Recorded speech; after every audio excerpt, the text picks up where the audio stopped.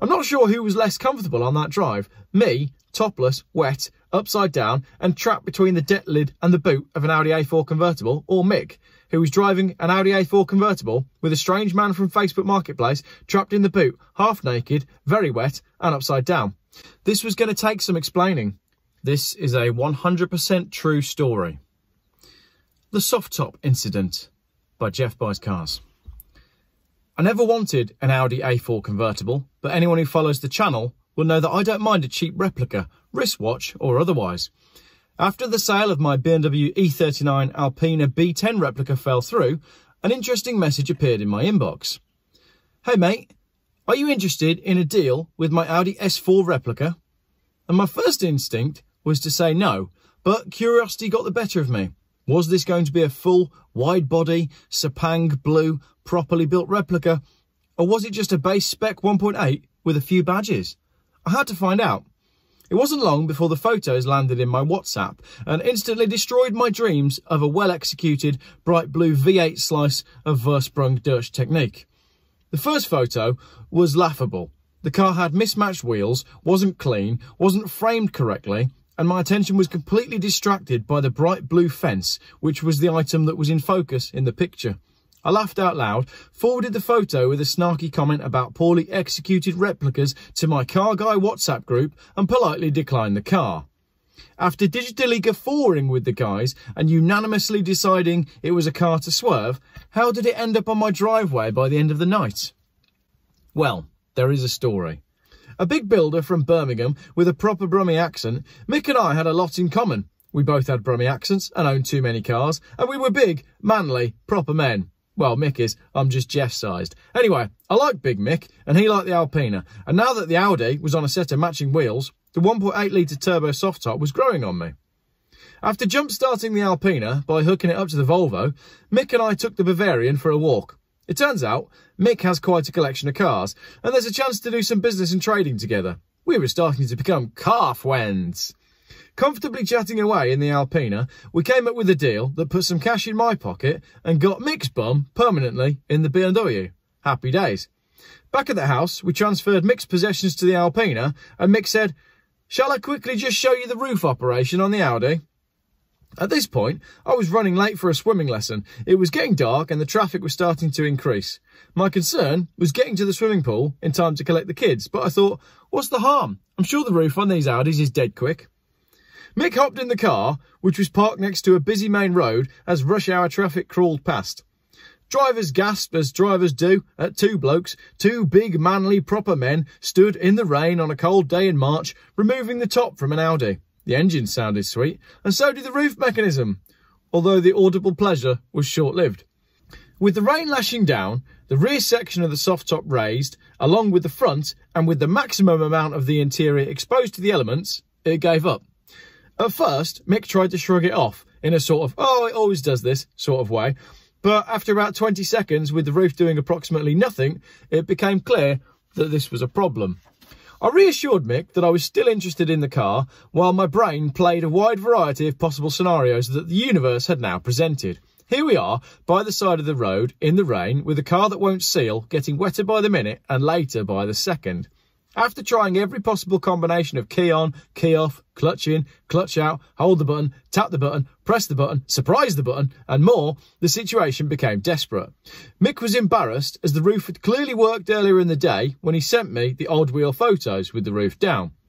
I couldn't let him leave in the Alpina without first securing the roof, and he couldn't drive back to Birmingham in the rain with the roof half on and half off. And I couldn't escape in the Volvo, leaving him to await his fate with the RAC. No, the show must go on, and more importantly, so must the roof. Whilst Mick tried to use his manly manpower, I got busy with my fingers.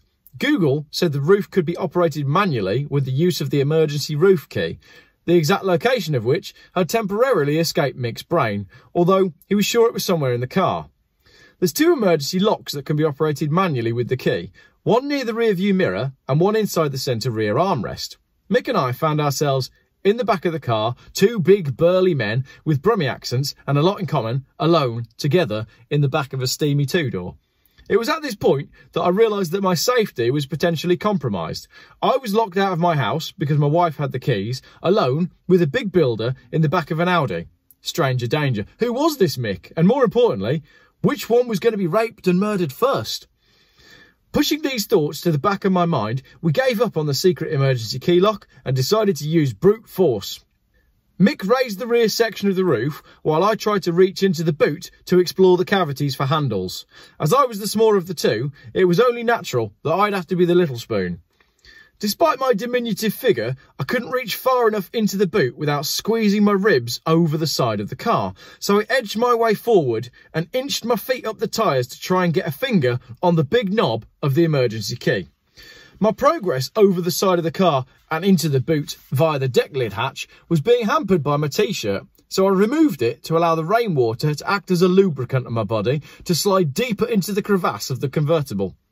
Although the situation looked bizarre to me, it must have looked completely bewildering to passing drivers. There's big burly Mick stood next to a half topless Audi in the rain, with one hand on the soft top to stop it collapsing, and one hand on the leg of another human, both of which are waggling in the air like a beacon that says, look at me, while still being attached to my rainwater lubricated but definitely half naked body. I was bracing against the rear of the car and the wrath of gravity, desperately trying not to fall into the darkness of the boot, whilst Mick did a sort of Mr. Strongman yoga pose, trying to simultaneously stop me falling into the boot and stop the rear of the roof trapping me there. Many cars passed by, witnessing the scene before the automotive gods decided to have the last laugh and let the inevitable unfold. My search for the secret roof handle was unfruitful, but just as I began to extract myself from the uncomfortable head down position going through the centre of the car and into the boot, two things happened at once. Gravity and Mick both let go. There was a loud squeal as my wet skin slid down the rubber roof seals and Mick screamed as he could no longer hold my leg and the roof. And gravity succeeded. The slide was unstoppable. My wet torso was followed by my upturned legs and my whole body slid neatly through the hole and into the boot. There was a loud bang as my head hit the back of the car and a louder bang as the roof smashed back into the closed position and locked. Mick immediately rushed round to open the boot, but as the Audi had recognised a fault with the roof, it wasn't possible to do so. The roof wouldn't budge and the boot wouldn't open. Mick was distraught and I was trapped. In a bizarre twist of fate, my mobile phone had slid into the boot with me, but I resisted the temptation to phone my wife and explain. I could hear her voice in my head already. You're where? And stuck how? With who? And where's your t-shirt? Although Big Mick was panicking, I was able to keep quite a cool head. Impressive considering how long I'd been upside down. By leaning down at the back of the car, Mick and I were able to communicate clear enough through the rear left light cluster. Rush hour was in full flow, so calling the RAC was out. We didn't think it wise to trouble the emergency services for fear of triggering some sort of gimp man-slave pervert panic, so we unanimously decided on option three. Mick would drive us to the local Audi dealer who would help. I'm not sure who was less comfortable on that drive, me, topless, wet, upside down and trapped between the deck lid and the boot of an Audi A4 convertible, or Mick, who was driving an Audi A4 convertible with a strange man from Facebook Marketplace trapped in the boot, half naked, very wet and upside down. This was going to take some explaining. After a short drive, we arrived at Audi and I could hear muffled conversation by pulling the number plate light socket out and pushing my ear to the hole. Mick was speaking with the sales manager and after a little while, two technicians came to the rescue. I could feel tools tapping away beneath me, and moments later, the harsh light of Audi's workshop flooded the wet boot, and I was free! Wrapped in an Audi beach towel and warming my hands on a hot cup of instant coffee, we chatted with the Audi staff about the perils of convertible roofs whilst they packed up the showroom for the day. They reset the roof, we said our thank yous, and finally got back on our way, this time with me in the seat.